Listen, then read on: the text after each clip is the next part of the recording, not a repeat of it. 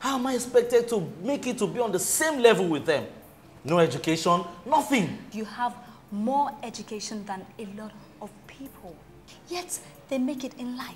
They become great people who employ several professors. And how did they make it? That is what you should find out if you're curious enough.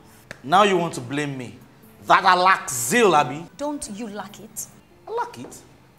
I lack it. And yet I go out from the rising of the sun to the coming down of the same, looking for one hard labor or the other to do, so that I may survive. That is the problem. You are only trying to survive.